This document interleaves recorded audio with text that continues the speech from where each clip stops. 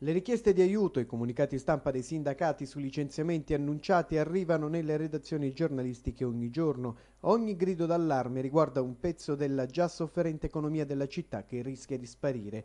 E i licenziamenti adesso toccano un settore letteralmente di vitale importanza e non soltanto per l'economia. Sono i servizi sociali a rischiare la paralisi.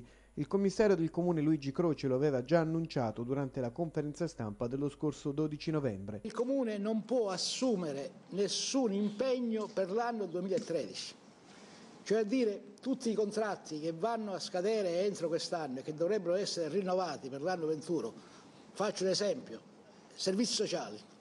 Il comune, avendo sforato il patto e non avendo un bilancio di previsione, non può bandire nessuna gara. Significa che i posti di lavoro a rischio sono centinaia, ma l'emergenza questa volta rischia di colpire le fasce sociali più deboli. Gli anziani, portatori di handicap, rischiano di rimanere senza assistenza. Niente più mense nelle scuole, un taglio anche ai centri di aggregazione giovanile, punti di riferimento di fondamentale importanza nei quartieri.